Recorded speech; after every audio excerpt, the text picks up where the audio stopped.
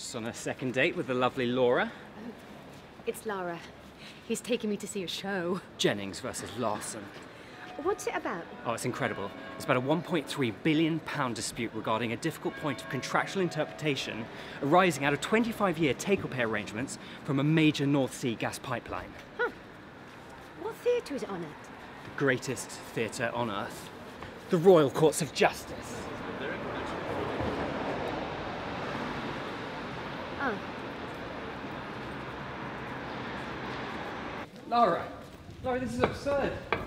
Laura's angry with me for some bizarre reason. I'm not angry. I'm disappointed. Oh, He took me on a date to see a court case about a gas pipeline. Well, She said she was interested in legal dramas. Legal dramas, as in films like To Kill a Mockingbird. Not some real life case about a gas pipeline. Jennings versus Larson is the To Kill a Mockingbird of gas pipeline cases.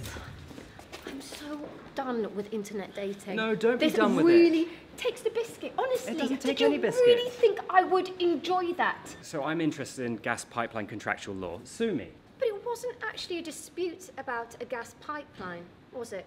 Believe it or not, it was actually even more boring than that. It was a dispute about whether to delay a case about a gas pipeline. Opposing counsel were appealing for an adjournment. To be fair to Laura, it was the most mind-numbingly boring day in court. But okay, I'm sorry, you choose the third date then. There will be no third date. Are you kidding me? Of course there will be. What, what do you mean? I'm sorry. Terms and conditions of internet dates are three sessions before a verdict. We've only had two sessions. What is all this about sessions and a verdict? It was a date, not a bloody trial. It's the ultimate trial. It's a trial of love. Goodbye, James. What? No, uh, hold, hold on. You can't, you can't have a verdict after two sessions. Talk about a kangaroo court.